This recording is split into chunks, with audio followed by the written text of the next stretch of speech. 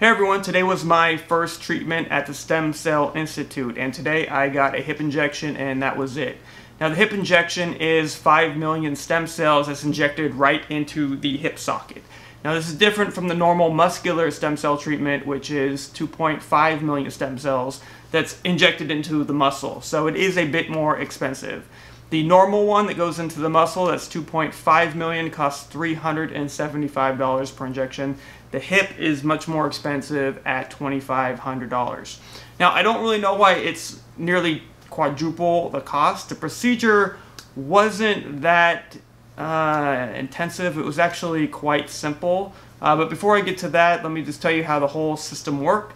So I got a schedule for my treatment where they have to take me to an off-site facility for the hip injection because it is a requires a specialist, I, I presume.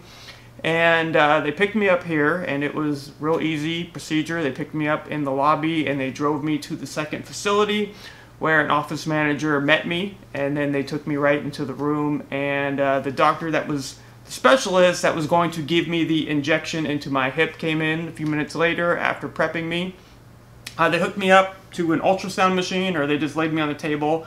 The doctor held the ultrasound machine over my hip, took the vial of stem cells and gave me an injection. Now on the pain scale, it was pretty non-painful. I would say on a scale of 1 to 10, probably less than a 1. Not a real big deal. Uh, the procedure actually took maybe 10 minutes tops. And uh, then after that, I talked to the doctors for a little bit. They gave me a pain prescription, which they said was optional, just to take it later if I experienced pain. At the time, I told them, you know, my hip really didn't hurt much and I didn't think I would need anything, where the two doctors kind of smirked at each other and told me, well, later it might start, start to hurt a little bit. So I went ahead and got the prescription. Uh, they walked me over there. They didn't send me off on my own. They were able to accompany to the pharmacy, help me get the prescription, and then they put me back in a car with a driver to take me back to my hotel. The whole procedure took about an hour, was really straightforward.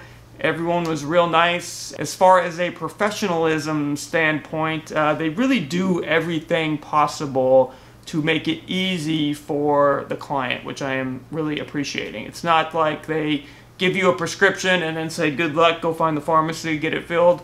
There's none of that. I really like the fact that they walked me to the pharmacy and helped me get it, and I don't speak Spanish, so the whole procedure was pretty much done for me, and uh, I really appreciate everything that they're doing for me so far.